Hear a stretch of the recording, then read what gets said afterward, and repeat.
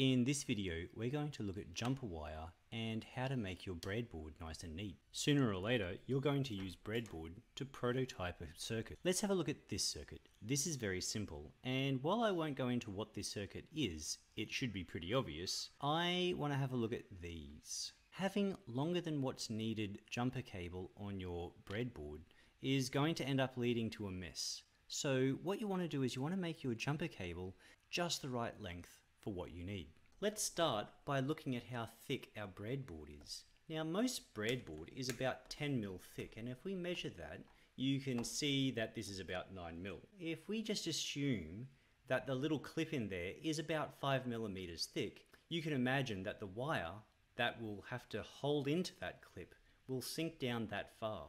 So at about 5 millimeters, that's going to hold quite well. And if we have a look at the length of the exposed wire on that jumper wire, we can see that it's about 5 mil. Well, it's quite possible that the plastic has moved as the legs have been bent in preparation for insertion on this breadboard. And you know what? It doesn't matter. Anything plus or minus a couple mil around 5 mil will be just fine for this. What's important is that middle distance between the two legs. What we want to do is we want to make a jumper wire to go from our earth pin out somewhere to our breadboard pin. Let's say column C, our ground rail to the edge of column C. You can see that I'm giving it a little bit more space than what's needed. We need to add an extra 10 mil. That will give 5 mil either side for the leg.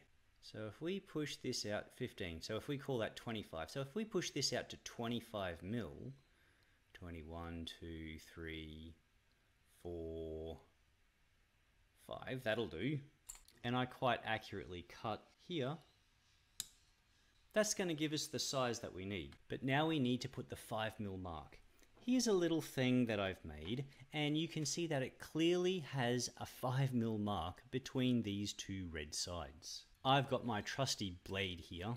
Now you need to be careful when trying to cut off the plastic sheath off your wire because solid core wire is extremely easily damaged.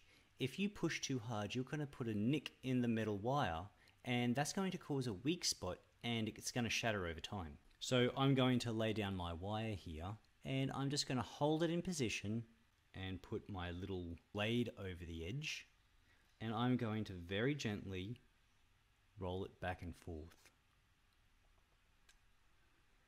And you can see that there's a little mark there. So once you've made your little mark there, it should be easy enough with your fingers just to pull off and expose that 5 millimeter end there. You can see the little mark there. You can see that the wire is about the right length. You're going to have to bend these over at right angles to make this easier, I like to use a pair of pliers. One half and then the other half. You can see here I've made it a little bit short, but that's okay because we can just space that out and stretch it a little bit between A and C. So just remember the important part is measure the distance between the two points, add 10 mil, and then cut 5 mil off either side.